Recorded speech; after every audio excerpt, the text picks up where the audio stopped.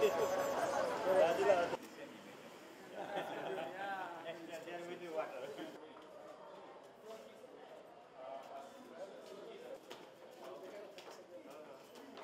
दस महिनामा। अगस्त तिनमा दुई हजार अठार अगस्त तिनमा चाहिँ यिनीहरूले काम सुरु गरेर गरेको हो। आज करिब दस महिना हुन लाग्यो। उनीहरूले मेन स्ट्रक्चर बिल्डिङको मेन स्ट्रक्चर चाहिँ बनाइसकेको छ। त्यसको यिनीहरूले इनोगोरेट गरेको यिनीहरूलाई सबैलाई देखाएको अब फिनिसिङ पार्ट बाँकी छ। यो फिनिसिङ पार्ट गर्नको लागि अराउन्ड तिनदेखि चार महिना जति लाग्छ। उनीहरूले डिसेम्बरको अन्तिमतिर ह्यान्डओभर नेपाल सरकारलाई ह्यान्डओभर गर्ने कार्यक्रम राखेको छ।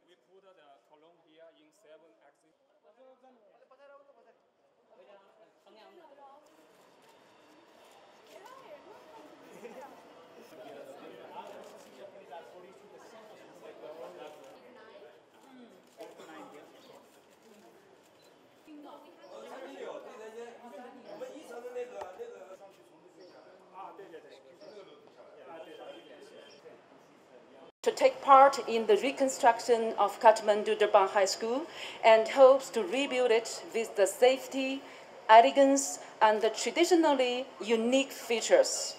The Ch- Chinese government wishes to let the newly constructed school to recover and remain its former clusters of China Aid post-disaster reconstruction projects in Nepal